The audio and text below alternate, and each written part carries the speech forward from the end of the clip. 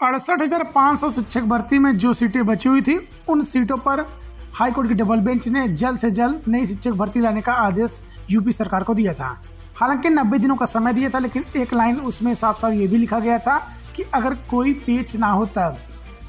UP सरकार हालाँकि relax बैठ गई थी, लेकिन अड़सठ हज़ार पाँच सौ के जो कुछ छात्र थे, वो इस निर्णय को चुनौती देने के लिए सुप्रीम कोर्ट में केस किए थे। लेकिन सुप्रीम कोर्ट का भी फैसला आ चुका है। सुप्रीम कोर्ट ने हाई कोर्ट के डबल बेंच डबल बेंच के फैसले को सही माना है और इस केस को डिसमिस कर दिया है।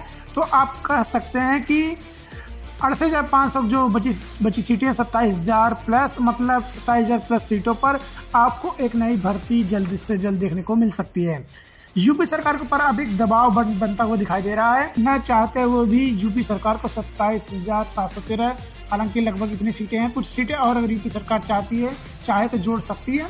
उन सीटों पर जल्द से जल्द विज्ञापन जारी करने के लिए यहाँ पर दबाव में पड़ चुकी है। हालाँकि शिक्षक भर्ती का विज्ञापन अभी जारी होगा या नहीं इसका अनुमान थोड़ा सा लगाना मुश्किल है लेकिन जल्द से जल्द उत्तर प्रदेश गवर्नमेंट को इस पर निर्णय लेना ही पड़ेगा। तो जब भी नोटिफिकेशन जारी किया जाएगा तो आपके पास लगभग कह सकते हैं 45 से 50 दिन का समय ही बचेगा। तो तैयारी में लगे रहें ताकि जब भी नोटिफिकेशन जारी हो, आपकी तैयारी पुख्ता हो और एक सीट अपना पक्का कर सके।